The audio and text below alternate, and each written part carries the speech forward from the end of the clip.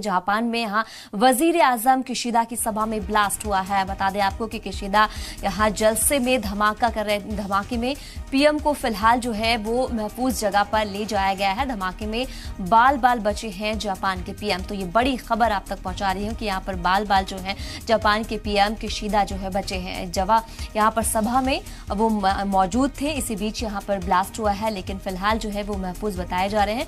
उनको जो है महफूज जगह पे फ़िलहाल भेज दिया गया है। तो ये बड़ी खबर आ रही है, जापान के वज़ीर आज़म किशिदा की सभा में ये ब्लास्ट हुआ है। किशिदा जलसे में यहाँ धमाका पीएम को फ़िलहाल जो है महफूज जगह पर ले जाया गया है। धमाके में बाल बाल बचे हैं जापान के पीएम। तो ये बड़ी खबर आपको आप तक पहुँचा रही हूँ।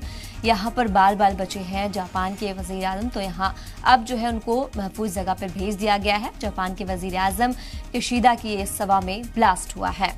तो कशीदा जलसे में यहाँ धमाका हुआ है। तो पीएम को फ़िलहाल जो है वो महफूज जगह पे ले जाया गया है। धमाके में बाल बाल बचे हैं जापान के पीएम। तो बड़ी खबर ये आप तक पहुँचा रही हूँ कि जापान के पीएम जो है वो यहाँ जलसे में मौजूद थे और यहाँ पर बम ब्लास्ट हो गया है जिसपे बाल बाल बचे हैं जापान के पीएम। फ़िलहाल जो उनको है, महफूज जगह पे है, वो भेज दिया गया है।